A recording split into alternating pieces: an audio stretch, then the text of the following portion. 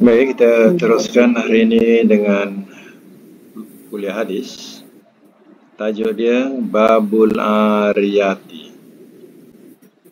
Babul Ariyati. Ariyah. Hadis yang ke-911 ya. Baik. Kita catatkan pengertian Ariyah tu ya, Ariyah.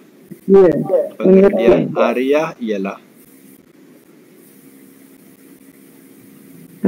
pinjam meminjam atau Hmm. hutang berhutang.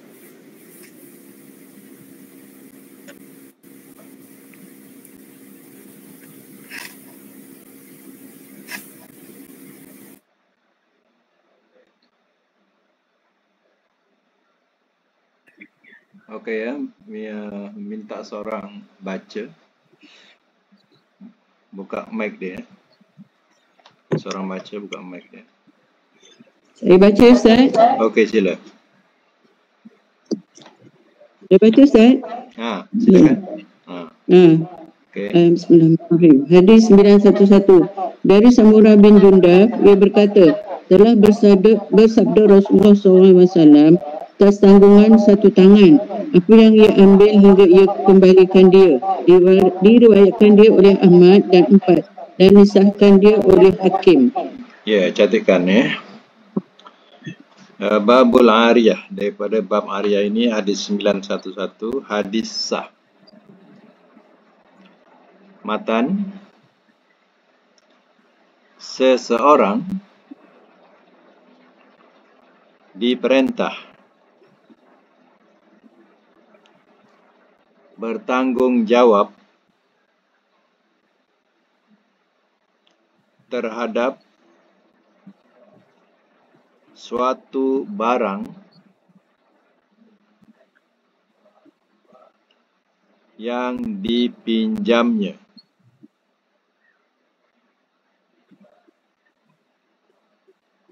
Hukum wajib.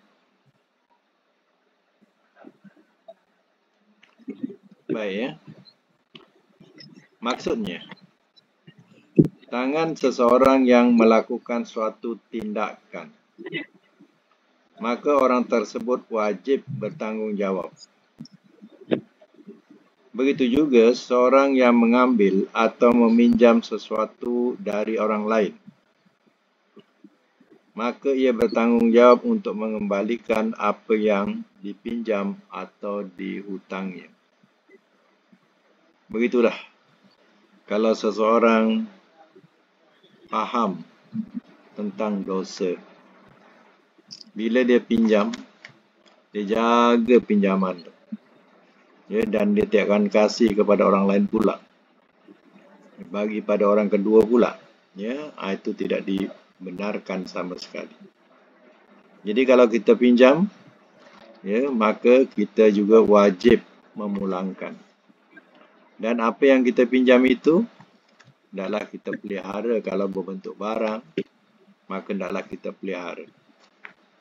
Jadi begitulah sempurnanya kita meminjam begitu juga kita kembalikan pinjaman itu dengan sempurna. Begitu juga dengan hutang pun begitu juga. Ha, inilah yang dimaksudkan dalam hadis ini ya. Menjadi tanggungjawab seseorang apa yang dilakukan oleh tangannya sampai dia menunaikannya. Ha, tu ya, fahamilah hadis ini. Jadi kita ya ingatkan tanggungjawab kita.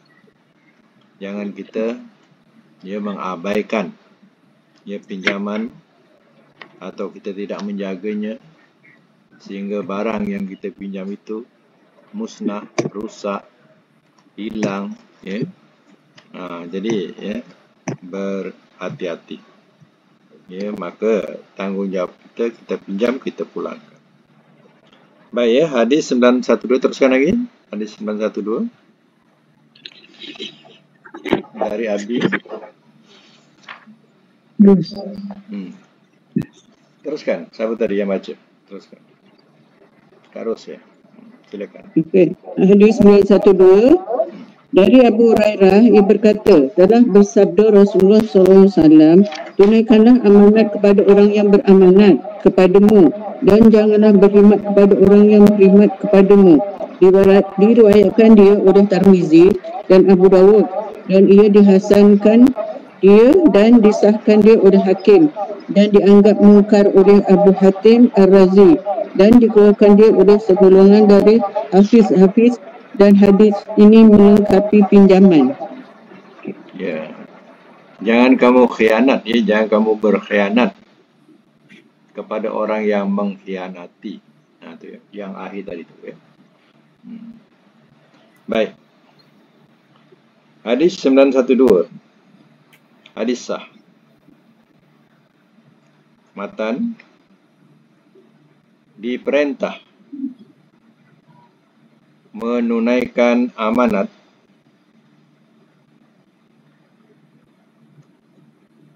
dan dilarang berkhianat. Dan dilarang dan dilarang berkhianat. Berkhianat. Khianat ya. Hukum sebagai satu ketentuan.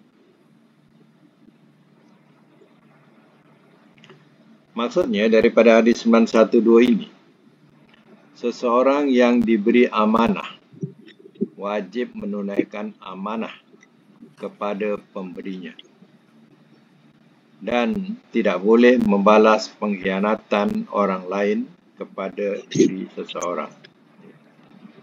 Jadi begitulah yang dikendaki dalam hadis ini. Semana Nabi kata, tunaikan amanah kepada orang yang memberi amanah kepadamu dan jangan kamu berkhianat kepada orang yang mengkhianati dirimu. Baik hadis 913 teruskan lagi.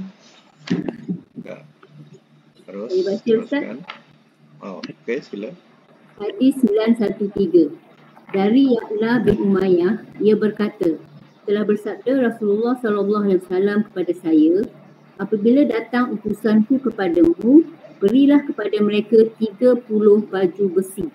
Maka saya bertanya, Ya Rasulullah, apakah pinjaman yang ditanggung atau pinjaman yang akan dikembalikan? Jawabnya, pinjaman yang akan dikembalikan. Diriwayatkan dia oleh Ahmad dan Abu Dawud dan Nasai dan disahkan dia oleh Ibnu Hibban. Lagi, 914. Hadis 914 dari Syafwan bin Umayyah bahawa Nabi SAW pinjam daripadanya beberapa baju besi pada hari peperangan Hunain. Maka dia bertanya, apakah sebagai barang rampasan ya Muhammad? Sabdanya, tidak, bahkan pinjaman yang ditanggung. Diriwayatkan dia oleh Abu Dawud dan Ahmad dan Nasai dan disahkan dia oleh Hakim. Satu lagi. Hadis 915 dan ia keluarkan buat hadis itu satu penyaksi yang lemah dari Ibnu Abbas. Hmm. Baik catatkan ya, tiga hadis ni satu hukum. 913, 914, 915. Satu hukum ya, iaitu hadis sah. Matan. Barang pinjaman boleh diganti harganya dan boleh juga dikembalikan sebagai asalnya menurut perjanjian.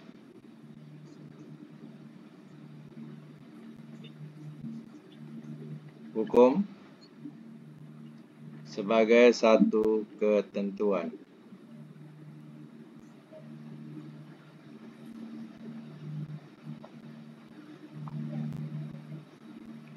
Baik.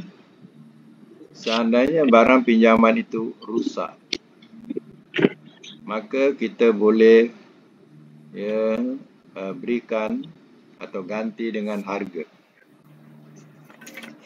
dan ataupun kita ganti barang yang sama. Belikan barang yang sama. Dan kita pulangkan. Ya itu ya ketentuannya. Tapi terkadang ya ada setengah barang itu ya tidak ada lagi. Yang sama seperti yang dipinjam. Jadi pada masa itu hendaklah dia berpakat dengan tuan punya barang yang dia akan ganti dengan bayaran untuk menyelesaikan masalah. Ya, sebab dah tak ada lagi barang yang seperti itu. Jadi hal-hal macam ni adalah hal yang perlu diambil tahu kewajipan-kewajipan ia bagi orang yang dipertanggungjawabkan bila dia meminjam barang orang lain. Maka tamatlah bab berkaitan dengan pinjam, ya, pinjaman. Jadi sekarang kita masuk satu tajuk baru lagi. Babul Wasbi. Babul Wasbi. Rain, sort, ba. Wasbi. Wasbi. Baik, babul wasbi. Okey, letak pengertian dia. Wasab ialah wasbi tu wasab ni. Eh? Wasab ialah memanfaatkan memanfaatkan barang orang lain tanpa pengetahuan pemiliknya.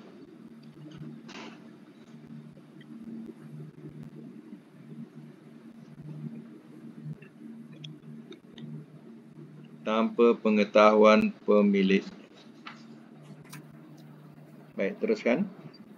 Orang yang sama pun boleh baca. Teruskan. Hadis 916 ya. Saya baca je Ustaz ya. Okey. Okay, hadis 916 dari Said bin Zaid bahawasanya Rasulullah sallallahu alaihi wasallam telah bersabda Barang siapa ambil sejengkal dari bumi dengan kezaliman nescaya Allah kalungkan dia dengannya pada hari kiamat dari tujuh bumi. Mutafakun alaih. Ya. Yeah. 9 uh, 916 catatkan hadis sah matan.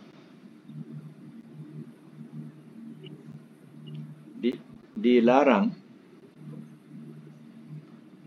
mengambil tanah.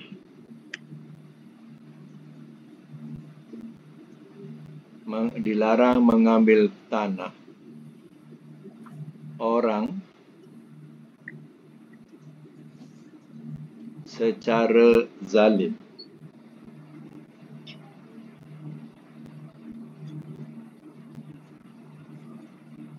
Hukum haram.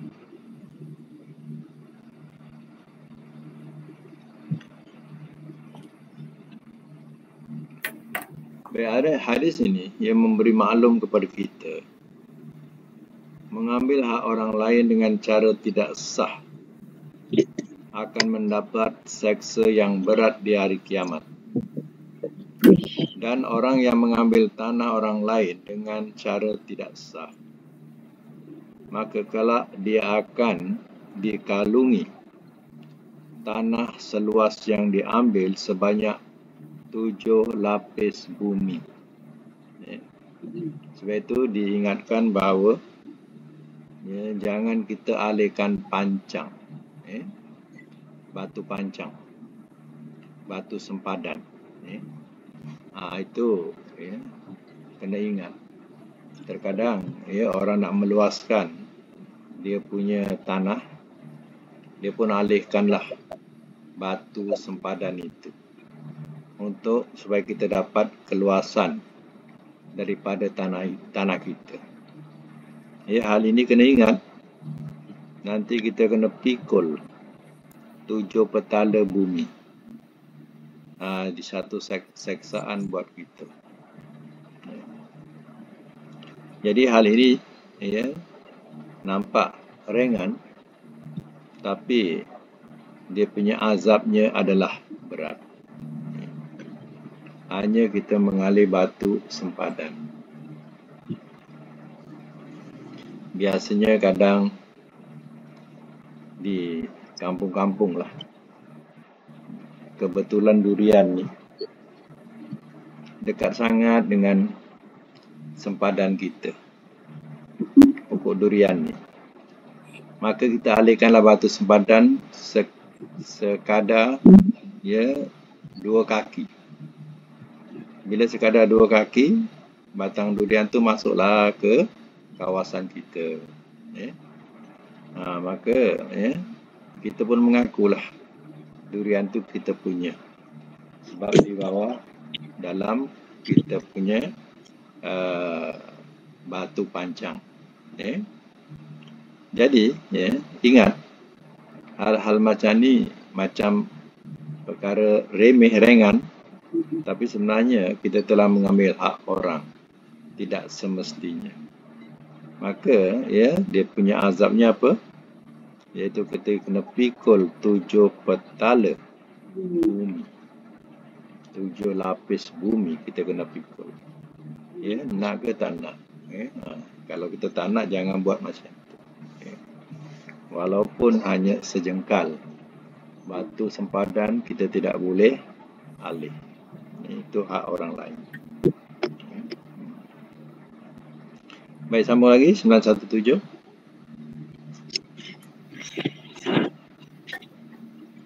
Sembilan satu sembilan satu tujuh saya baca Ustaz. Okey, sila. Dari Anas bahawasanya adalah Nabi sallallahu alaihi wasallam di rumah seorang dari isterinya. Maka seorang dari ibu-ibu mukminin kirim di tangan seorang pelayan satu piring yang ada padanya makanan. Lalu ia pukul dengan tangannya lantas pecah piring itu. Maka ia tangkupkan piring itu dan ia terung makanan tadi padanya dan bersabda, Makanlah. Dan ia beri piring baik kepada suruhan itu dan ia tahan yang pecah. Diriwayatkan dia oleh Bukhari dan Tirmizi tetapi ia katakan pemecah itu Aisyah dan ia tambah lalu bersabda Nabi sallallahu alaihi wasallam makanan dengan makanan dan bijana dengan bijana dan ia sahkan dia. Ya baik ya katakan 917 hadis sah. Matan. Barang orang yang barang orang yang kita rosakkan.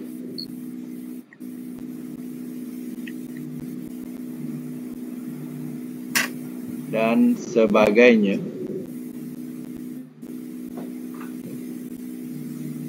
Harus diganti.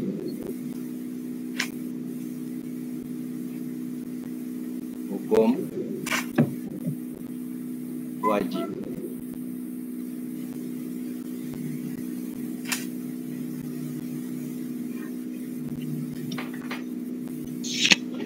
Baik ini ya kisah berlaku pada rumah tangga Rasul. Yang mana ya pelayan membawakan ya uh, satu pinggan yang berupa makanan ataupun disebut buahan daripada ya madu Aisyah. Nah, ini daripada madu Aisyah. Jadi bila ia diberikan kepada Aisyah, Aisyah tanpa tanpa jatuh, pecah. Ya. Jadi Rasulullah SAW ya, ambillah makanan itu diletakkanlah pada pinggan yang lain dan ya Nabi dia gantikan pinggan yang lain kepada ya, madunya. Apa? Uh, madu. Jadi hal ini ya berlaku. Jadi itu yang dikatakan ya oleh nabi ya kalau ya barang dengan barang ya kita kena uh, ganti. Uh, kita wajib ganti. Jadi dalam maksud dari sini Seorang yang memecahkan barang orang lain, tidaklah dia menggantikan barang tersebut. Serupa dengan barang yang dipecahkan atau dirosakkan. Apabila yang dia rosak atau buang adalah makanan, maka harus ia menukar dengan makanan yang serupa. Ha, begitulah diterangkan dalam hadis ini. Jadi pada masa itu mungkin ya Aisyah ini masa masih mentah lagi, muda lagi. Jadi ya dia tidak boleh tahan cemburu. Jadi bila diberikan ya uh, oleh madunya makanan ditampa makanan ini jatuh pecah. Ya. Nah, jadi yang menukar ialah Rasulullah SAW. Dia menukar pinggan itu untuk dikembalikan kepada madu Aisyah itu. Ya, itu ya, cerita daripada kisah mengenai umul mukminin iaitu isteri-isteri Rasulullah. Itu fitrah manusia. Ia ada sifat cemburu tapi walau bagaimanapun ya ini Aisyah masih ketika itu masih mentah lagi muda lagi. Ha, dah tua-tua semua dah okey dah. Tak ada macam tu lagi ya dah matang. Eh, uh, dah tua dah matang dah. Baik, eh, uh, 918. Teruskan. Hmm. Saya baca Ustaz. 918 dari Rafi bin Khadij. Dia berkata telah bersabda Rasulullah wasallam Barang siapa menanam di bumi satu kaum dengan tidak izin mereka, maka ia tidak berhak apa-apa dari tanaman itu. Tetapi ia berhak mendapat belanja. Diriwayatkan dia oleh Ahmad dan empat kecuali Nasai dan dihasankan dia oleh Tarmizi dan ada dikatakan bahawa Buhari melemahkannya. Ya. Baik, catatkan ya. Hadis 918, hadis boleh dipakai. matan orang yang menanam sesuatu di tanah orang lain tanpa izin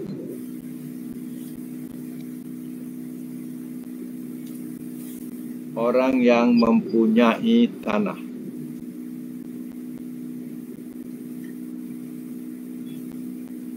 Maka yang menanam tidak berhak mendapat bahagian dari tanamannya itu.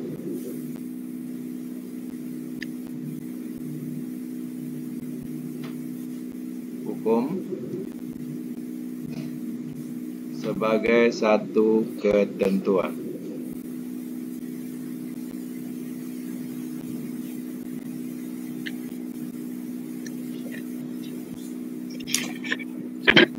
Baik, maksud ada di sini.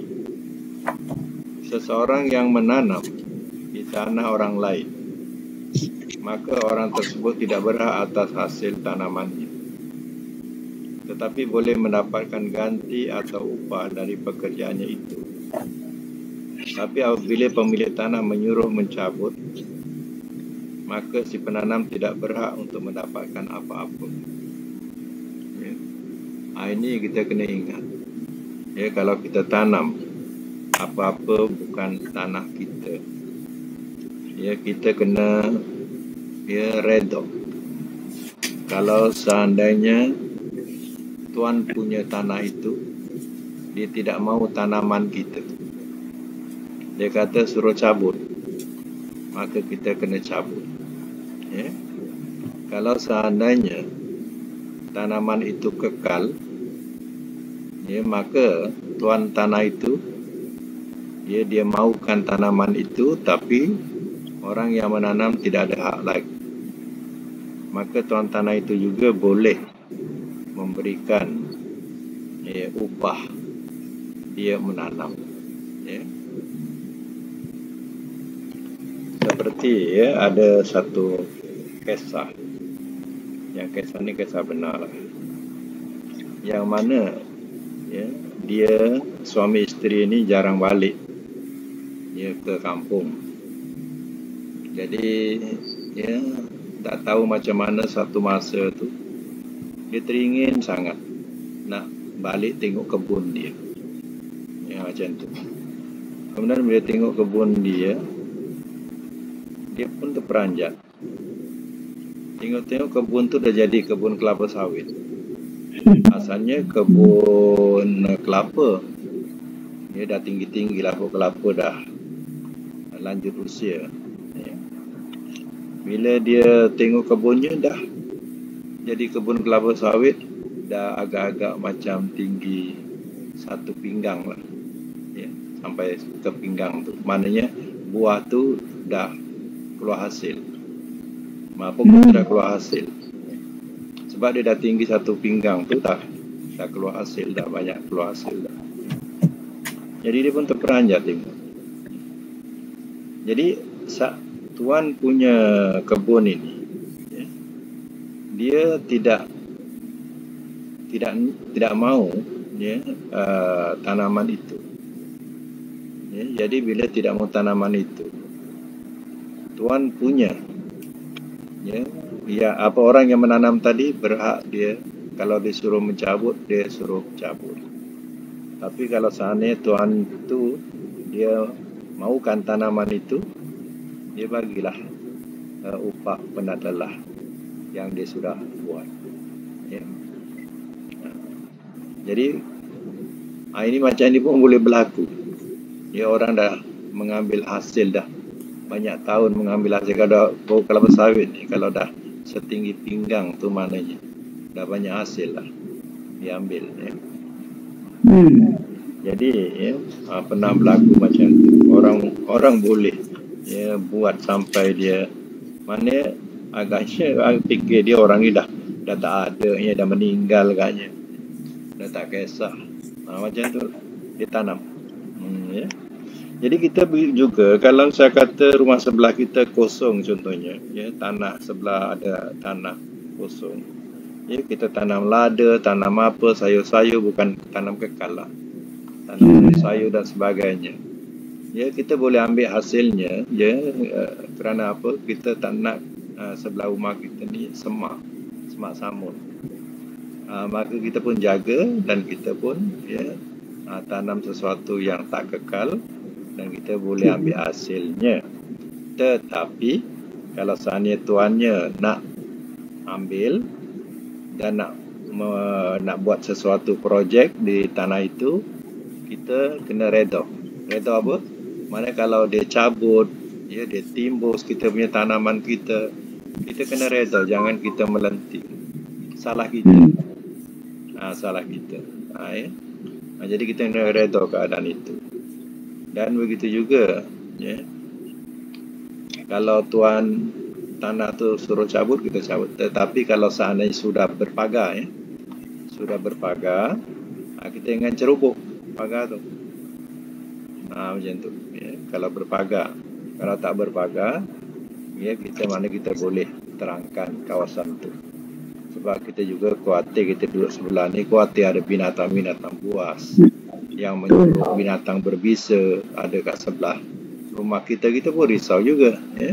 Ha, jadi kita tolong bersihkan dan di samping itu kita tanamlah tanam tanaman biasa-biasa. Ya. Ha, tetap. Hmm.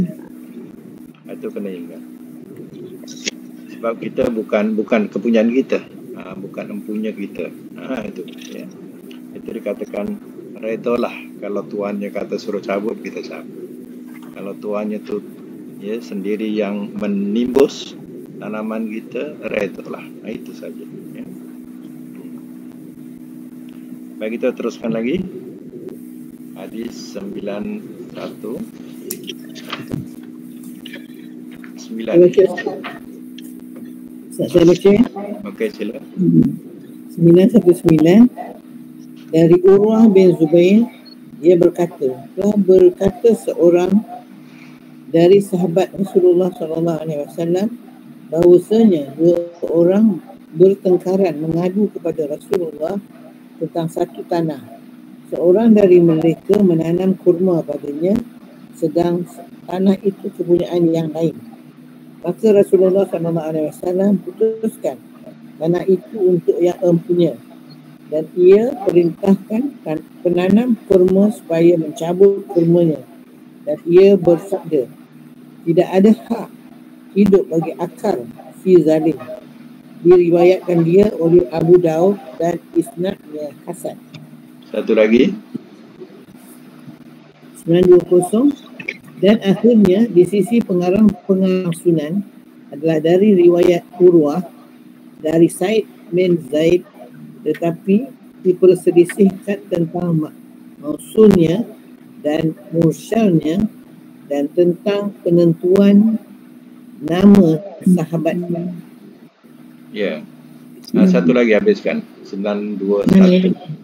921 dari Abu Bakar bahawasanya Nabi SAW telah bersabda di dalam khutbahnya di hari kurban di Mina bahawasanya darah kamu dan harta kamu haram atas kamu sebagaimana haramnya hari kamu ini di bulan kamu ini di negeri kamu ini mutafakun alaih Ya, baik. Baik ya, 919 dengan 920 satu hadis, satu hukum. 919 dengan 920. Satu hukum. Hadis boleh dipakai.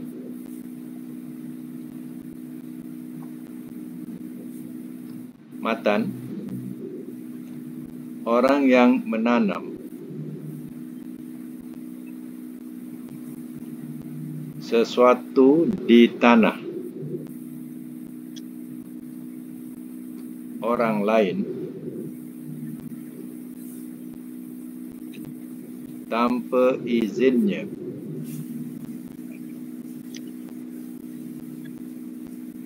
Diperintah mencabut dari tanaman itu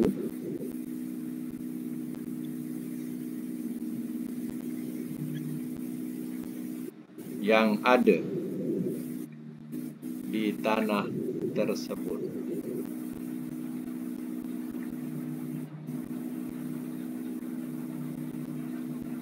Hukum sebagai satu ketentuan.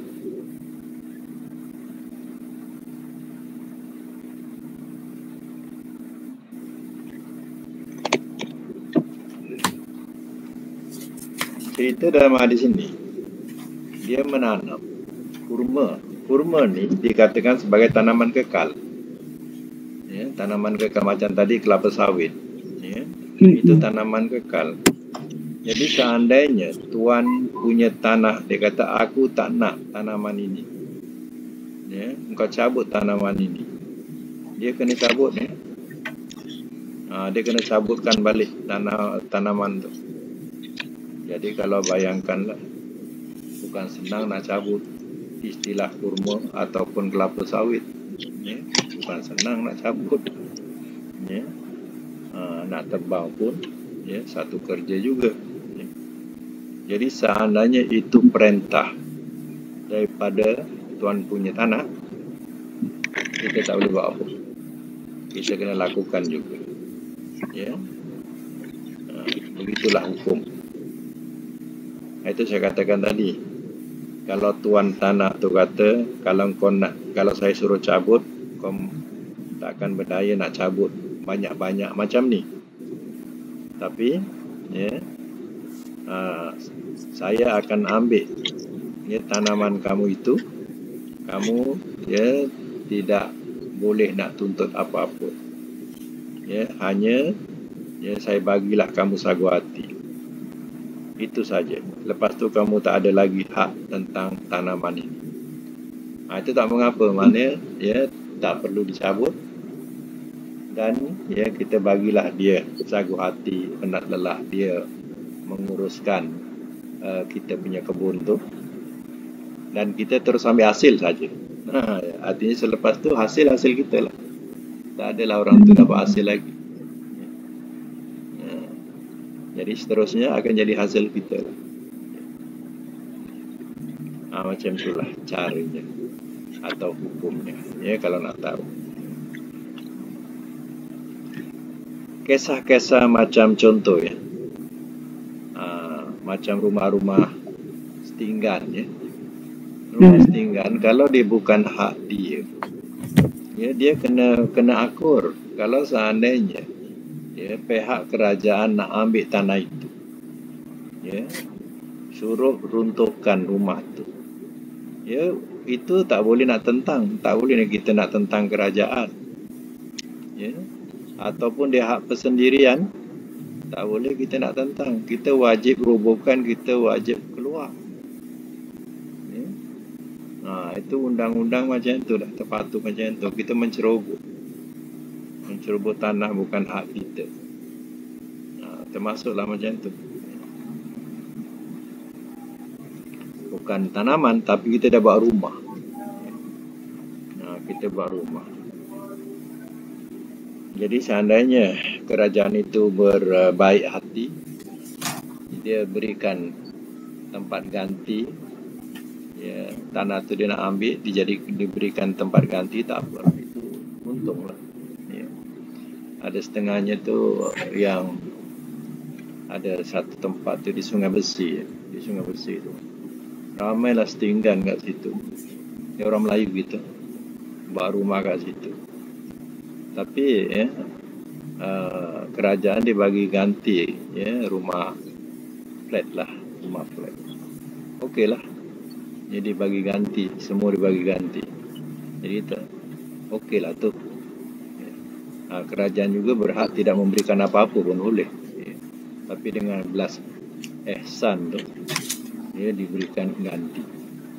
Ha, itu tak mengapa ya.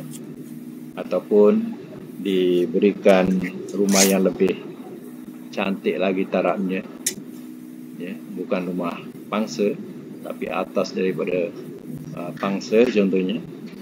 Uh, ke Surabaya dengan bayaran yang murah. Uh, itu tidak mengapa lah. tak ada salahnya. Uh, itu ehsan daripada pihak yang berwajib. Ya. baik hadis 921 pula.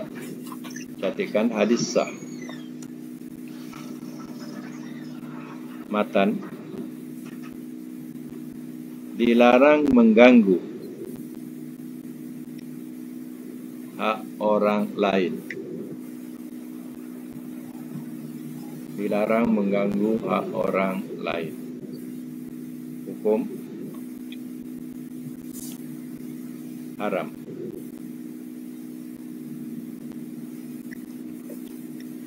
Hadis yang akhir ini adalah potongan daripada hadis panjang ya ketika Nabi berkhutbah pada hari raya korban di Mina.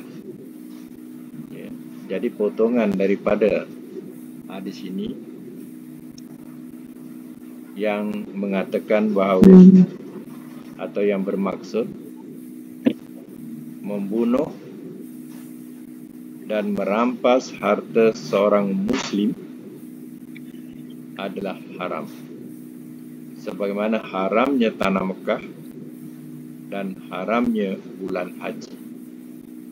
Jadi ya, kita tidak boleh menceroboh hak orang muslim atau membunuhnya ya atau merampas hartanya.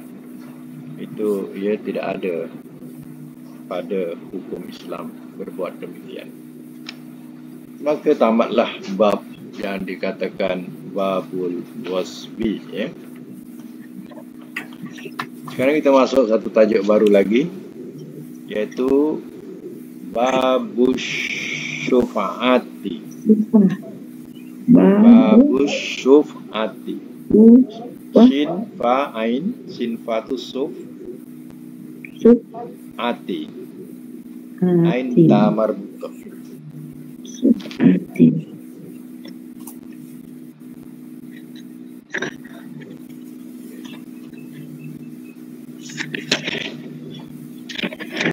Babus syuf'ati. Letak pengertian. Syuf'ah ialah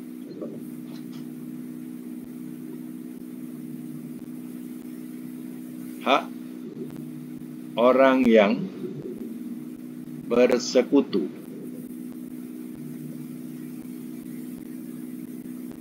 hak orang yang bersekutu dengan orang yang lain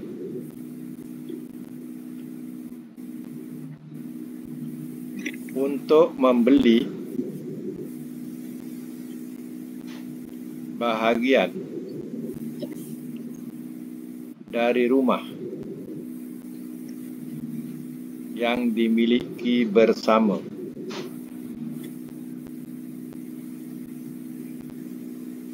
Atau tanah yang dimiliki bersama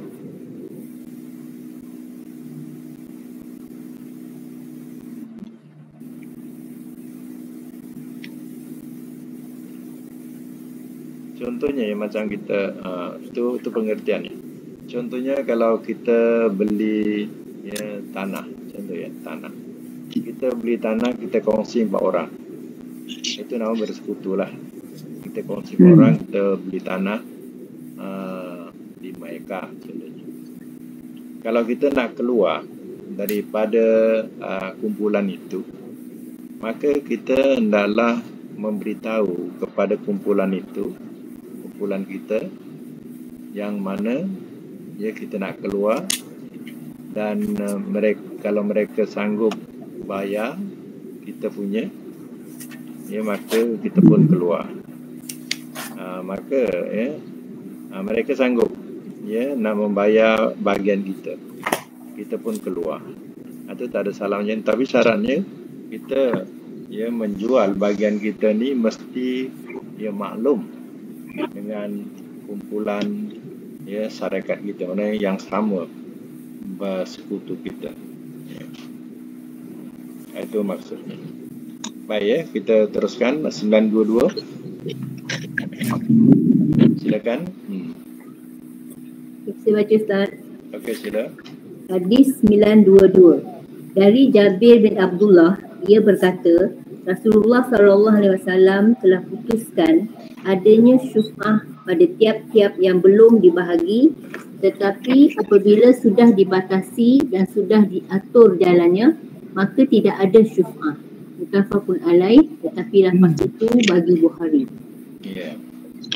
baik catatkan eh, satu lagi. Uh, 923 di satu hukum. Hadis 923 dan pada riwayat muslim sabdanya syuf'ah itu ada pada tiap-tiap persekutuan di bumi atau di kampung atau di kebun. Tidak boleh. Dan pada satu lafaz, tidak halal ia. Jual bahagiannya hingga ia tawarkan kepada sekutunya. Ya. Saya catatkan ya. Hadis, hadis 922 dengan 923. Hadis sah. Matan syuf'ah itu. Ada pada tiap-tiap sesuatu. Dalam bracket tanah koma kampung koma kebun koma rumah koma barang dagangan koma hamba dan sebagainya. Tutup bracket. Hukum sebagai satu ketentuan.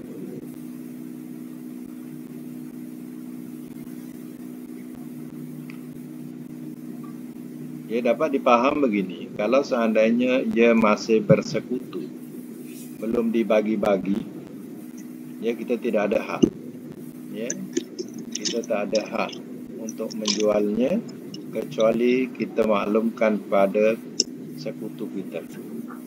Tapi kalau dibagi ha, ni kau seka aku seka contohnya itu dari bagi-bagi ha, itu tak mengapa kita menjual hak kita kepada ya orang lain tetapi ya, seandainya ia masih bersekutu, ha, jangan uh, mandai-mandai. Ya. Baik ya, kita teruskan lagi 9192 923A ya.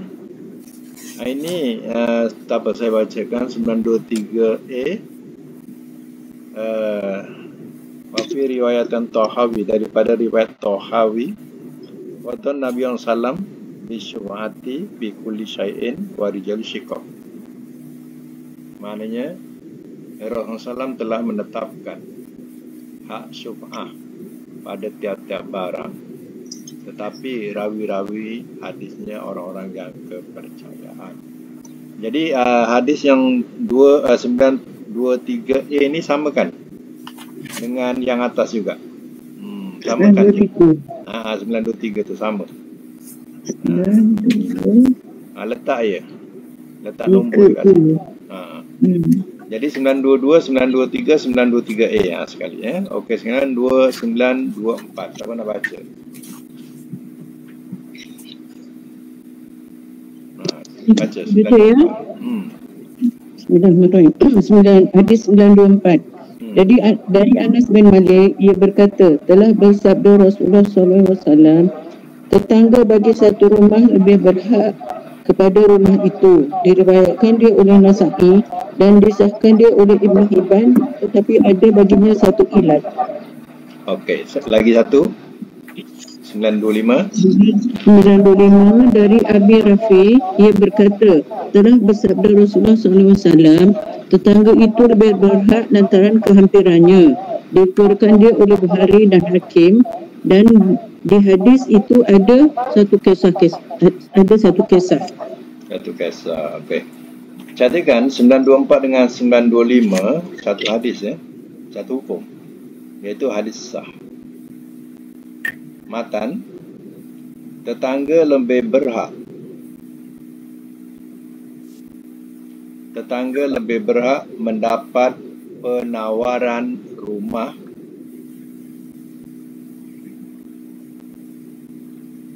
yang akan kita jual.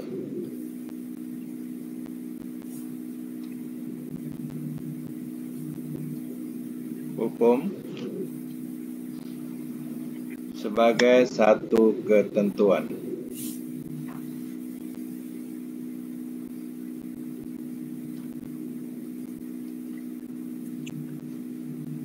Baik ya.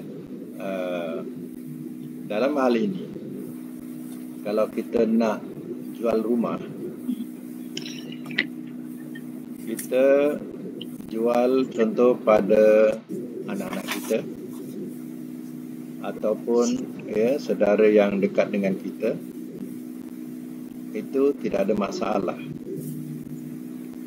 Tetapi kalau kita nak jual dengan orang yang selain ada hubungan dengan kita maka kita kena maklum dengan jiran kita. Dulu. Kita bagi tahu dengan dia saya nak jual rumah ini ada tak? Ada ke uh, nak nak beli rumah rumah saya ni? Ya. Uh, contohnya kita jual pada tetangga kita. Mungkin uh, dia nak beli untuk anak-anak dia contoh. Ya. Sebab apa? Ya jiran tu lebih lebih, lebih ada hak. Ya kita tawarkan dengan dia.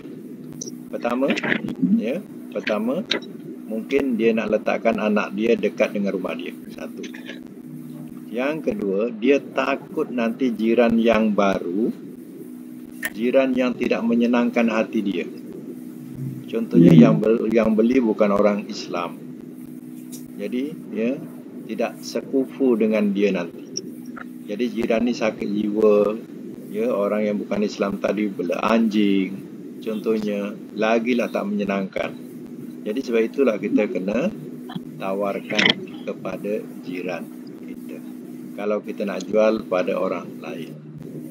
Tapi kalau dia dengan keluarga-keluarga sendiri tak payah bagi tahu jiran ya sebab keluarga-keluarga sendiri itu lebih berhak ya uh, mereka uh, nak tak mereka apa kita tawarkan kalau kita nak jual pada orang lain kita tawarkan kepada jiran kata jiran dia ke jiran kita Allah tak tak mampu lah saya nak beli rumah tak apalah kalau kau nak jual pada orang lain jual lah ha, itu mana dia dah redha macam tu ya ha, jadi kena faham tu ya Jangan kita tiba-tiba kita jual pada orang lain, jiran tak tahu.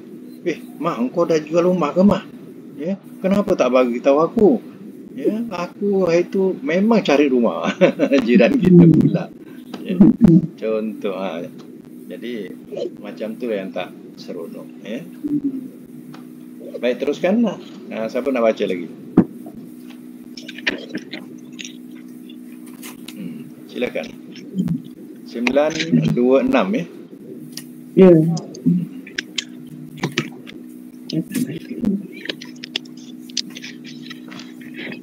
Saya baca Ustaz.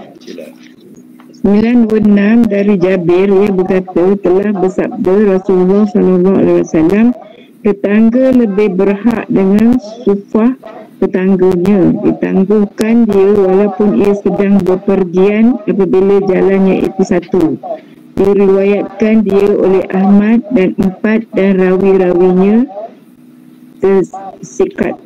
Hmm. Lagi satu. Hadis 927 dari Ibnu Umar dari Nabi SAW ia bersabda Sufah itu seperti melepaskan unta. Diriwayatkan dia oleh Ibnu Majah dan Bazar dan dia, dan dia tambah sabdanya dan tidak ada sufah bagi orang yang berpergian. Tetapi isnadnya lemah. Ya ini kita sufah sufah ya. Sufah sufah sufah ah sufah oh, bukan tufah ya. Sufah Okey, sembilan, uh, sembilan dua enam hadis sah. Matan dia, tetangga yang gaib harus diberi tempo untuk penawaran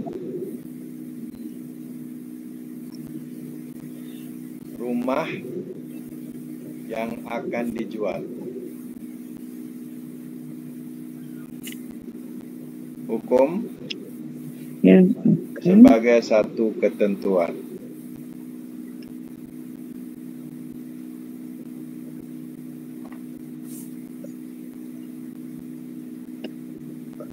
Hadis 927 lemah.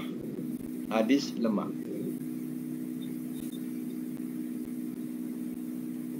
Matan syuf'ah apabila sudah lewat waktunya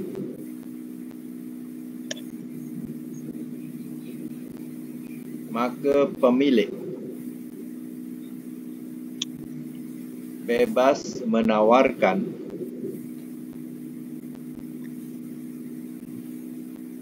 kepada orang lain.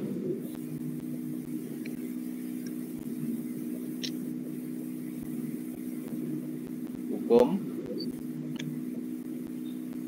Sebab harus ada pengumuman lebih dahulu.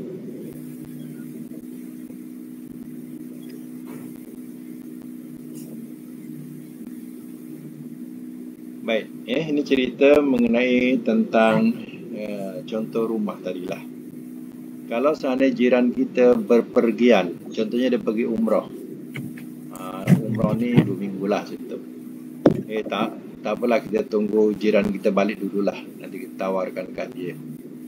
Ya. Ha, jadi bila dah balik, ya, kita pun bagi tahu kat dia. Satu. Kalau dia pergi tempat lain pula, ya, melancong ke barat anda ke, ya, maka ya kita juga boleh uh, bagi kalau dia lama sampai sebulan ke apa ke. Lama. Kita boleh hantar ya SMS kita